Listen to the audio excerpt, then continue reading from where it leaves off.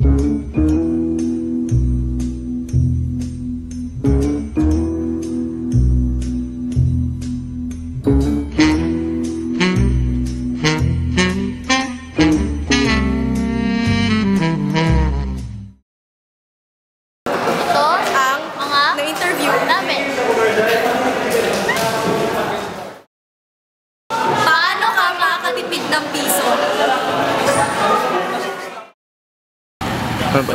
ko para matipid, ah, ma- makatipid ako. eh, huwag nating ano, gastusin para hindi natin ma... Yung pagiging ma, ano, magas, hindi natin magastos, matitipid natin, di ba? Sa lagang piso lang. Paano ka makakatipid ng piso? pag nagbabayad sa leave, dapat sa hindi estudyante. Para imbis na 8 pesos, 7 pesos na lang. May piso ka pa. Ah, mag-ipon na mag-ipon para madagdagan. Para makatipid. Magkano po yung dapat na gastos lang po ng isang ordinaryong tao sa isang araw? Kung employed siya, kasi ang magiging gastos niya ay supposed to be para sa meals at saka fare. Diba? Siguro ideal na yung 150 for yung meals at saka fare niya. Pero kung hindi naman siya nagtatrabaho, ano mo siya bibigyan ng budget? Yun lang. Siyempre, for the future, kailangan ko ipon. Ah, para ano, para may magamit pag daw emergency, at saka pag, pag, pag ano, gagamitin pang araw-araw, ano kakakain ko, wala kang Paano kasi po kayo ginawa. makakatipid? Parang focus po sa ugali or ano practice po yung dapat po? Naliban po sa.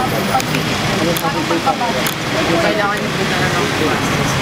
Ano pag kailangan yung sa kailangan Sa, sa mga tanong niyo niyan, um, ang masasagot ko lang, mayroon tayong alam na tinatawag na four quadrant. Yung first quadrant sinasabi, ito yung tinatawag na uh, urgent and important. So ngayon, kung sa pagtitipid, kung ano yung important and urgent, doon po ninyo i-spend yung inyong money. So kung hindi naman kailangan, uh, huwag nyo lang i-spend yung money ninyo. Then pa- sa pangalawang quadrant, yung urgent but not important. So papasok yun doon sa tinatawag na kung important, okay, you have to spend your money.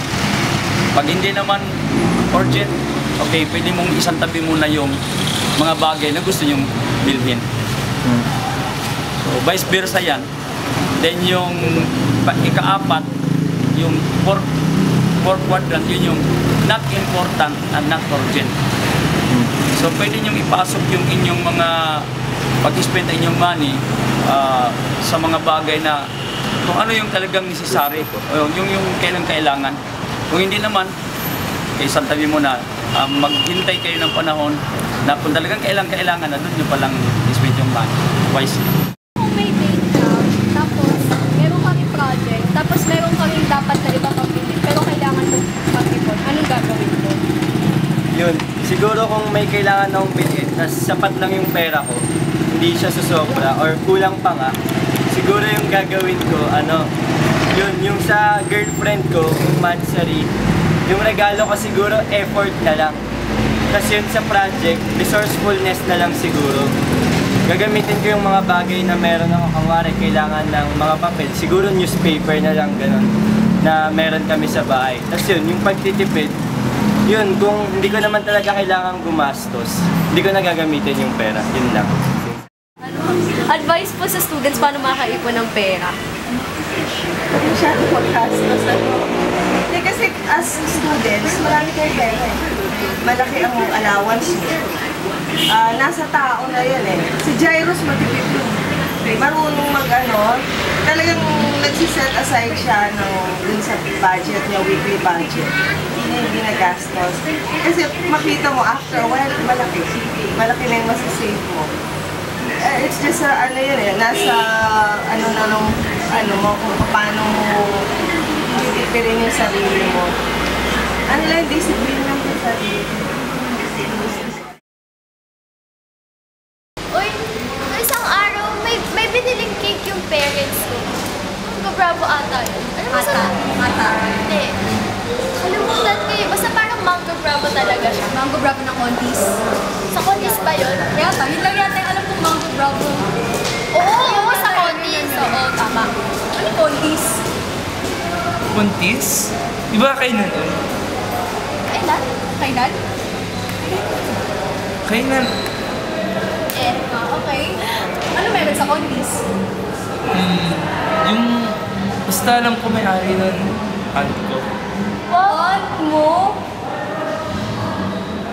Panalo to. Every week, may libre mango bravo. Joke lang. Sige na, please. Mm. Okay, anyways, para sa susunod naming in-interview, narito si Cecilia Conti. para Mag...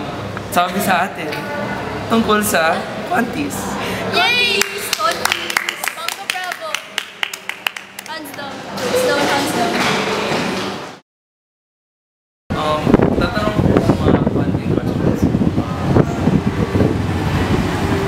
What what business do you have? Um, and ano po siya type ng business?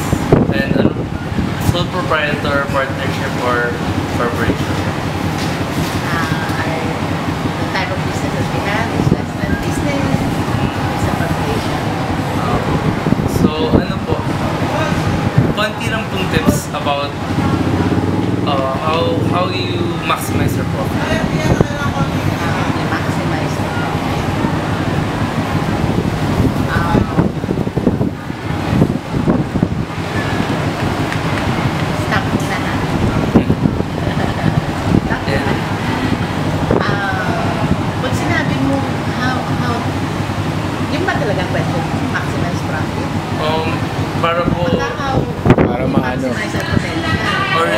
gain profit. Oo, parang ano.